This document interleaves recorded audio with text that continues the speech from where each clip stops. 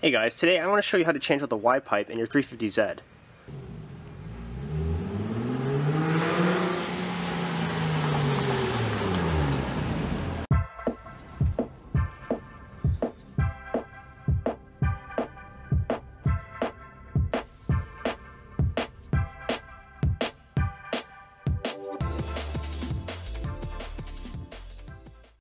So today's product that I picked is Motordyne's XYZ pipe. So Motordyne seems to be the only one that really, really researched different versions of a good Y pipe for collection to optimize power and sound quality. And they found that getting closer to the test pipes or your catalytic converters is much more effective than further back. Uh, we're going to compare, I have an HR style Y pipe on the car, so we're going to actually compare and see what the dimensions are and where they actually collect, because um, there's some interesting things that they found. So exhaust scavenging is very important, and this particular Y pipe, uh, not only, we're probably going to maximize torque, which if you saw my last dyno run, I was down 10, 10 foot-pounds compared to other vehicles with higher end exhaust systems. And the, the, I think the culprit is where this is collecting. Motordyne suggests that depending on where it is, you can lose sound quality and power. So this is where it's supposed to be. Now the cool thing I really like about this particular product is that's the only one is it's modular. So I decided to pick up their high flow cat and we'll show you why it's a you know a high flow cat because we can actually see some light come through as opposed to some factory catalytic converters you can't see any light go through it. So why did I decide to go with this piece? Well, one, there are several ways to muffle a system. You have mufflers, resonators, but there are also other devices that also muffle sound that you might not know about. So turbochargers actually muffle sound. Well, we don't have that on the car, and catalytic converters also help quiet down and refine the sound. So that's actually one of the main reasons I picked this piece. Also because in previous videos I've been using test pipes for testing purposes I am trying to set the car up to be a little bit more friendly to the environment. Now a bunch of people might be saying, oh, you're going to lose horsepower. Probably, you know, it is a form of restriction. I'm, it's probably no more than 10. Like, I read that it's probably 4 to 5. Now, if let's say it's let's say it's 10 to 15, let's, uh, 15 is a bit much. Let's say I lose 10 horsepower. On the street, I really don't think it matters. You can make up in other spots, you know, if you want to make your car quicker, but I figured, you know, at least having one catalytic converter in, lead by example, try to be a little bit better for the environment. If we're going to build cars like this and drive a lot and consume a lot of fuel because we drive for fun, let's, I want to try to be a little bit more responsible when I do it. Now the cool thing is though, let's say I go to the track and I want to maximize horsepower of the car. The reason the big re other reason I wanted this part is because it's easy to change out. Swapping out test pipes hooked up to your exhaust manifolds or your headers are a pain to take out changing out this one piece for a resonated piece or a straight pipe piece that Motordyne also has available is way easier and that is a big plus for me. So I don't know if you guys can see that, see that little dot. So we actually get some sunlight coming through on this guy so it's not completely restrictive. I love how thick the flanges are so it's less likely deformed during installation or over time. Might be hard for you guys to see. But you can see, look, at there's no burrs anywhere or anything. And that, the collector, the angle is very interesting of how they do it. And you might also notice in some pictures, you'll see there's a bar here. So this is the latest version. I'm, I'm, I'm assuming, someone correct me if I'm wrong, if this is older stock. But this one does not have that little support brace in other pictures. And I've seen versions of it where the flex portion changes. So this one, I'm hoping this is the latest version of this particular pipe. But regardless, you can see there's a ton of craftsmanship in it.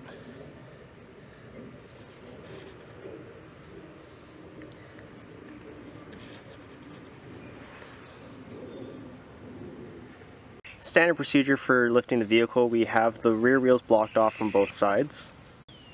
I have light pressure underneath the motor and now this is the area that connects the lower control arms to the vehicle and the, there's the center area. I just have it moved over to the side a bit, that way I have more room to work because I plan on doing an oil change. And I have the jack stand supported here. Now there are different ways to support the vehicle. You can see here the previous owner lifted in properly from the pinch seam. I do agree with the pinch seam if you have a lift and a big block. Uh, that's typically how shops do it. Or if you look at the Nissan owner's manual, they actually have a pinch seam adapter for jacks and axle stands, and there are other products on the market. Now, I come from a full frame um, background, and it's kind of funny because if you look at this piece, there's a notch here, and there's another notch here almost like they intended for an axle stand to go here. Now, if you go back here, it's single steel. The gauge of steel is the same. This is just my opinion by way my observation. If you go up to here, it's doubled up. And if you actually look over on certain areas, it's actually where they meet. It's like, it's like here, it's one, two, three. So you have to pick your spots where you want to go. And I also use the pad here to distribute the load. These pads are super cheap, they're 20 bucks. Some people say you can use a hockey puck or pad, but I like having as much surface area and being as secure as possible.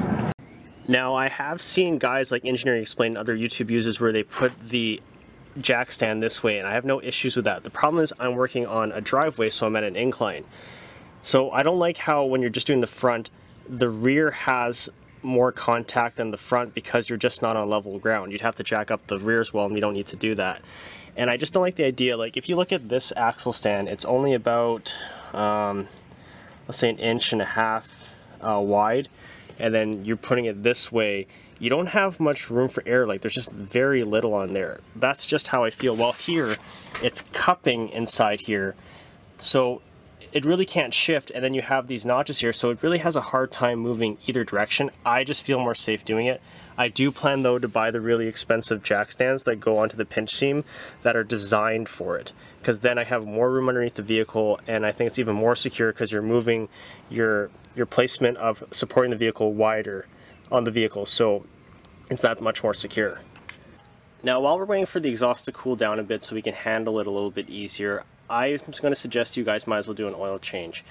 Um, because most of us, after you do an exhaust part, you're probably going to drive the car pretty hard. Who knows when you did the last oil change? Maybe you have 2,000 kilometers on it or so, or miles on it. So let's go ahead and do an oil change. That's just what I'm going to do. You don't have to. So what I always use, I always use a K&N oil filter. I like it because the one inch nut easy to take off. I get for a good price. Um, I always put this AC Delco oil supplement. That's not too many people know about it, but I've met a bunch of mechanics that swear by it, so I'm like, why not? I've been using it for years and I've had no issues. And I'm trying something new, uh, because if you guys watch my Instagram, I worked on Audi R8 and I noticed that they advertise Castrol. Now, there's a lot of politics when it comes to branding, so, you know, maybe Castrol said, hey, if you put our name on your motors, we'll give you a bunch of money, who knows. Anyways, I have a friend that works at Volkswagen and the mechanics swear by it and they say it's better than the off-the-shelf stuff. So this is Castrol Edge Professional. I've never used it. I've actually never heard of it because you can't get it in store. So only the dealerships like Volkswagen or if, well, I'm, uh, I'm not sure if this is the exact same stuff that they put in the Audi R8, but it is specified for Audi and Porsche and all those other brands. So if it's good enough for those vehicles, it's going to be good enough for mine. I'm going to give it a shot. While we're laying the oil drain, let's go ahead and take out that Y pipe. I've already gone ahead and taken off all the nuts. I left all the bolts in to help hold the Megan Racing Y pipe in. And what I'm interested to see is when we take this out, I want to inspect the gaskets because there is a video on the internet from uh, Roads Untraveled where it picked up a lot of high-pitched noises and I'm kind of wondering, did we have an exhaust leak during that video and at wide open throttle it really made itself evident because when I was driving the car I was just cruising around for the last you know week or two and I wasn't winding it out really past three or four. And hitting closer to seven, we might have had an exhaust leak. So I'm interested to see if we did or didn't, or if it's just the way the Y pipe design is with this particular seb causing all that noise.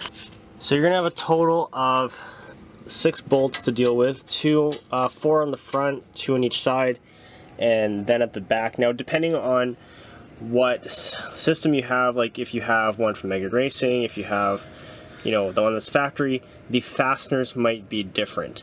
Um, I found at the back, because the diameter of the pipe is 3 inch, it's a 3 inch to 3 inch, that, and the way the angles are, I had very little room, so I had to use open, uh, I had to use uh, box wrenches to get it off.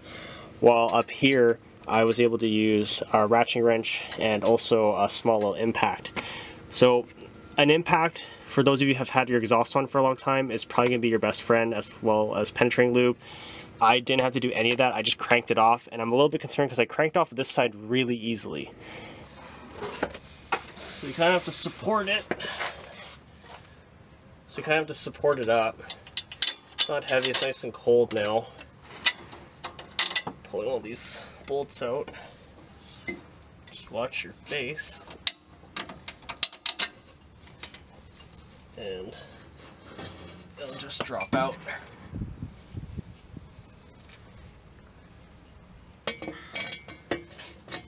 Let's go ahead and compare some stuff. So here's the old gasket. Here's the gasket I thought was suspect because it was a little bit loose on the right side. Well, not loose, but it was easy to take off. It actually looks pretty good. However, at the end of the Megan Racing uh, Y-pipe where it collects, this one does not look good at all. So maybe we did have an exhaust leak during those videos. Sorry guys, I actually do feel really bad about that, misrepresenting you guys. So here's the interesting thing. Here is our Megan Racing Y-pipe here, and here is our Motordyne one. And you can see where they collect, it's quite different. Pretty much the length of this catalytic converter or whatever module part you, uh, modular part you got is the distance. So if we measure this, it's roughly about 13 inches further up compared to this guy. And the only reason I picked this one is it kind of made sense because, well, it's an HR style Y pipe. So I figure Nissan must have been onto something and they must have done a lot of testing and development to switch over their exhaust system to this kind of look. Um, basically, from what I looked at from pictures of the HR from uh, Nissan, uh, their factory exhaust, the Megan Racing one, it's a very you know affordable Y pipe. It mimicked the collection point and just the overall style. That's why it's called an HR style. So I figure, well, if it's good enough for the HR, it's good enough for this car. So, but the Motordyne piece does almost the exact opposite by almost being like the stock one on the DE motors. So it's way up here, but you can see how the angles are. So here it's nice and straight over here, then it collects. Motordyne decided to kind of give it still a bit of an angle, and then it collects. Now I did measure the inside diameters.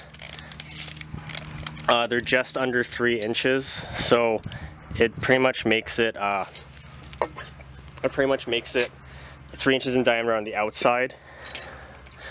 So they're almost identical. Uh, two and a half on both ends uh, off the Berk uh, resonated test pipes. It's two and a half. So the pipe diameters are pretty much identical, but the way Motordyne does it is very different, which is what I find very interesting. And another new discovery found that the gasket in the back, um, it was okay when I took it out, but I guess by this goes to show like just never reuse gaskets. When I did the sway bar install, I had to loosen up the exhaust. I didn't order a new gasket. I just tried reusing this one, and you can see not that it's apart, uh, but see all that black stuff? It's really just leaking everywhere. And that's probably attributing to that bad exhaust leak because it was just leaking out before it actually be contained in the muffler, which doesn't help anything. So this was the old bolt, or nuts I should say, that was in there. It's just a standard nut. So I have these just laying around, and these ones have, you can see they have more surface area, but over here, I don't know if you guys can tell, it's actually not at this end of the threads, it's not circular. So as we crank on it, it's going to really secure to the bolt and hopefully it won't back off like this guy did. Now before we just go ahead and put on the new gaskets and chuck this thing on, you want to go ahead and clean, there's some material here from the all the gaskets. So we have to make sure that that's as clean as possible. So I just take a little razor blade and we scrape that off and then we can go ahead and put everything back together. I'm also noting the orientation. If you look at it, you see it's a little bit angled. So we want to make sure when we take out the old Y pipe, we set it down with the bottom still facing down. And when you put in the Motordyne piece, you put it in the same orientation. That way you're not taking it out trying to refit it. So because I'm by myself today and I have no helper, what I've done is I put the hardware in first and I have the gaskets on. And now I'm going to go ahead and put the Y pipe in. Um, if you have a buddy, I'm going to recommend you have them help you out.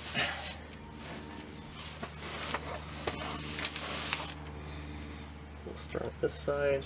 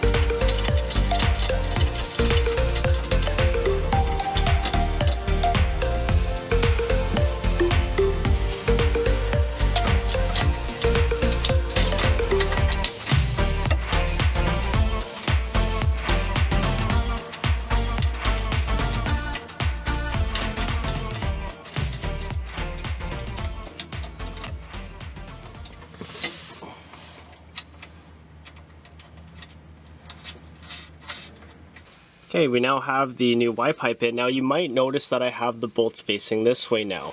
So I faced them going towards the back of the vehicle first because it helped me with installation because I by yourself it's kind of hard to balance it and then feed the bolts through with the gasket and everything. That was just easier. So when I had it all up, individually I'd flip them around.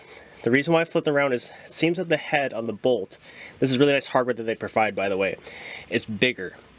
And on the Motordyne piece, it's kind of slotted on the flange. That gives you more room for play when it comes to installation. However, on the aftermarket exhaust parts, forward and back, it's a hole just big enough for the bolt. So I wanted these special nuts here. You can see that's a special locking nut. And I wanted that to have maximum contact patch on this flange because this flange, because of the slot on it, it doesn't have a ton of um, as much area for grabbing. So when I'm tightening it, I'm making this nut static.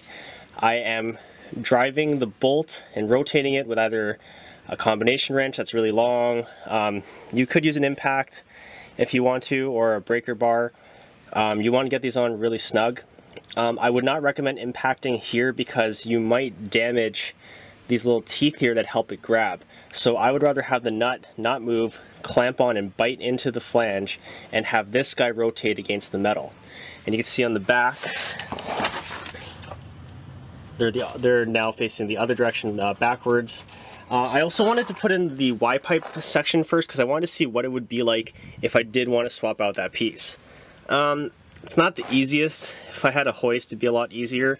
I decided to put the, uh, for the clamp, uh, for the bolt for it on top. I have enough clearance from the drive shaft. That way it doesn't hang too low, doesn't get, if it were to ever hit something underneath the car, I'm not messing up that hardware. Um, what I did have to do though was I had to back off on the bolt uh, quite a bit. Um, so if if you were to swap this out, you obviously wouldn't touch there, but I, I made that loose so I could get the pieces to come closer. But I think that's why they give you such long hardware. So um, you would have to have the hardware fairly loose at the back, and then you would clamp it together and then you would then tighten it. I would not tighten everything up snug and then try to get those two together. It's pretty much impossible. So that's what you'd have to do and obviously if you were to put a new piece in you'll have to change out the gasket in the back every time. There's no gasket up here the way that's designed to be put together. Okay, new crush washer on my magnetic drain plug. And we're ready to put the oil in. Okay, we got our new filter in and we can go ahead and install our filter mag.